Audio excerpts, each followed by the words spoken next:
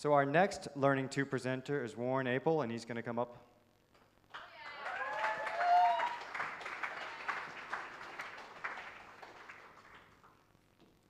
Thanks. One of the things I've learned from my students is that children inherently want to help other people. You know, whenever there is a, an earthquake or a flood, uh, the kids just they want to do something, they want to help. But unfortunately, one of the, the ways that they usually try to help is by having a bake sale.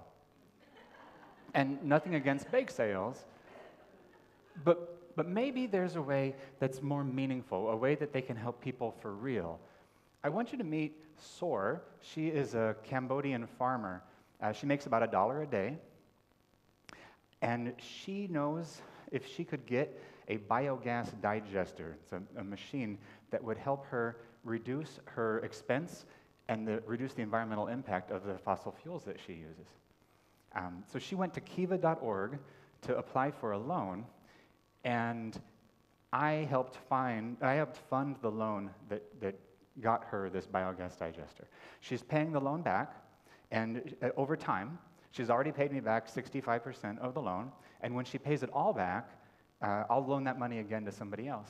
And if you, ha- if you haven't used Kiva, um, I have a bunch of $25 gift certificates that I will, I will give you, uh, real money, and you can use it here at this conference and then tweet out like who you help out.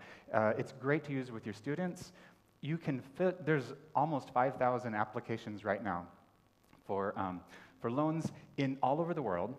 And so whatever matches your curricular goals, whatever your school's values are, you can find a loan that will fit. Um, you can filter this by gender. If you want to close the, the gender pay gap, you can fund a female owned business. If you want to improve world peace, fund a project that's happening in a conflict zone. If, uh, if you want to uh, stop global warming, there are projects of clean green energy. And your students can pick the project that they want to fund, uh, and then they watch that project grow, they have a connection. It, it's really cool. Um, but how do we how do we get the students the kind of money, the, the funds that they can use to help these people? How do we help these people without the sugar in the cupcakes? As teachers, we know that students do their best work when they have an authentic audience. What if we could publish students' work to the same real platforms that authors and performers and, and the real world uses to sell their stuff? What, um, what if we could publish in a way that earns money that could go to fund these kinds of projects? And I think we can. It's not super easy, it's not as easy as just blogging, but it's not that hard, and the internet has made it much easier. If your students write, and all students write, they can publish their work, uh, whether it's a collection of poetry or short stories, uh, you can compile and edit a, a, book of their work, or if they're writing for National Novel Writers Month, you can publish that to the Kindle Direct Publishing platform.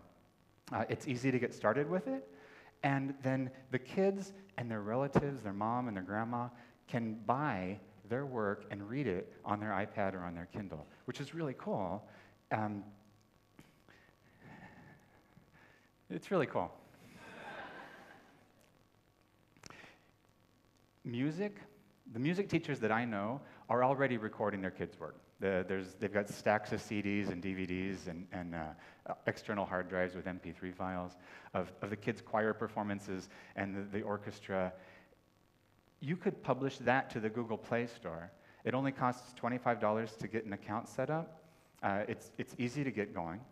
And then the kids can stream or download or purchase the music uh, on the same platform on their, on their phones, the same thing that they use to listen to music to already. It can be a real platform for publishing student work. And if you're lucky, your school has a 3D printer, so kids can make 3D designs and then they can print it out in plastic uh, and have a, a tangible product. Um, but if you upload that file to Shapeways, they'll print it for you and mail it. And not only can the students order it, but anyone on the internet can order it, and then you get a cut of the proceeds. And, and they have all kinds of different materials, so it's not just one color, it's a bunch of different colors. Uh, you can print in porcelain or sandstone, uh, gold, that's not cheap, but you can, you can print in gold. Um, yeah, and so uh, real projects, real authentic publication. And, you know, and I know in art class, your kids are making beautiful things. And, and usually, uh, at the end of the year, those projects go home, whether it's a, a paper mache sculpture or a ceramic object. It goes home to the parents, and, and maybe they keep it for a little while, or maybe they put it in the attic or throw it away. But you could find someone on Etsy who really wants to buy that, and then instead of collecting dust, this could be collecting momentum. And if you can scan it and digitize it, you can sell it an infinite number of times. So you could take student work and scan it and upload it to some place like Cafe Press or Zazzle, where it can be printed onto a t shirt or a sweatshirt, um, an iPhone case, uh, and hundreds of different products. They do the printing, they do the shipping, they do the payment. Like, it's just as easy as what they're already doing. The student just has to write a description and a title and set a price, which that's a real authentic skill that they should be doing anyway. It's, it's really fun.